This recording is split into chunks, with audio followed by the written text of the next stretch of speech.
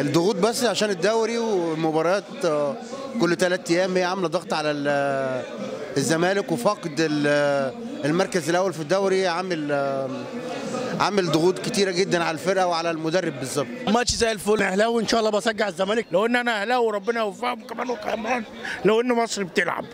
يعني كويس ماشي الحال. ده جميل كويس الحمد لله. إصابة فرجان الساسي بس أثرت شوية. يعني كويس مش بطال. أنا أهلاوي على فكرة مش زملكاوي. كويسين مش وحشين. حلوين. لا أنا اهلاوي معلش بحب ما بحبش الزمالك. أنا اهلاوي لا لا. الزمالك محتاج تغيير كتير. المدرب مش كويس. أداء الزمالك النهارده مش تمام خالص بصراحة يعني برغم إن إحنا بنلعب على أرضنا وكده لكن مش هذا المرجو من نادي الزمالك. الزمالك كويس ولازم فوز الماتش ده مهم جدا عشان يرجع مرة تانية وينسى كل اللي حصل له خصوصا خصوصا لما فقد الثقة. المدرب اللي هو سايب خالد أبو طيب اللي ما عندوش فكرة عن الكرة خالص ومع ذلك برضه سايبه في الملعب وعنده عمر السعيد بره المفروض إن هو ينزله. وعمر السعيد محطة كويسة أصلا. مبروك للزمالك وأنا أهلاوي. أتمنى بأمر الله إن الإصابات ما تأثرش علينا الفترة الجاية.